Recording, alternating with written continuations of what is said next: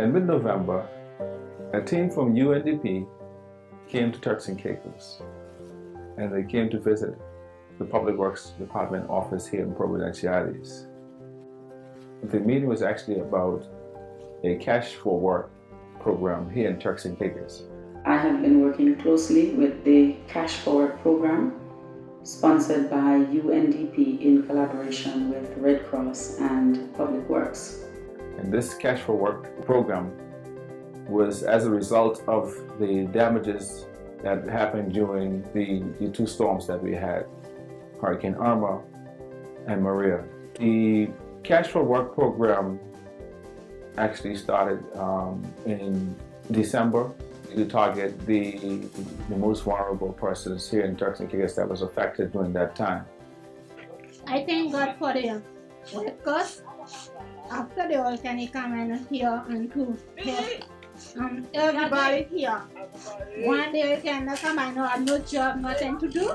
Now you give me something to do to help my children and my my house they broke up. And I thank God for that. There was encouragement for gender inclusion in the sense that we were required to have no less than 10 women in the program. Surprisingly, we had more women interested in the program and working in the program than just 10, and more women than men. Thank God for everything. I'm thankful for that. This little help because it helped me to re- be able to buy some material to repair my roof and, and, and inside the place, you know. It wasn't for that, because then things were very rough with us, you know, very tough. And so I thank God for the help, and I'm thanking them for what they have done for each and every one of us. The Cash for Work program will have lasted for about 15 days. Work will have been um, monitored by Public Works and the Red Cross.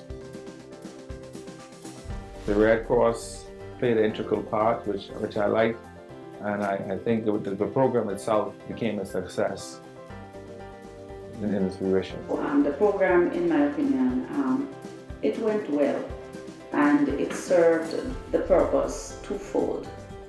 I think um, the main focus was to help those who were most vulnerable and who had been significantly affected by the hurricane. But the island itself benefited in the sense that we were able to get some cleanup done.